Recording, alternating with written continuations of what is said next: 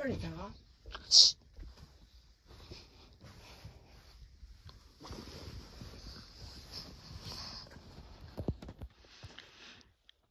はい。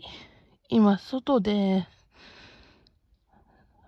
あの、バスケットボールの音を取ってたんですけど、取れましたでしょうかね。ドア開けたんで、うーん。これが夜の7時過ぎまで続くんですよね。はい。前回よりは取れたかなと思うんですけど。いや、困ったもんです。でもね、苦情言ってね、なんか、ちょっと考えすぎかもしれないけど、家に火でもつけられたら怖いし。はい。というわけで、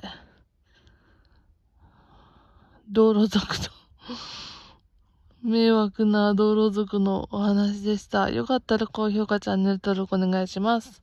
それでは、ご視聴ありがとうございました。バイバーイ。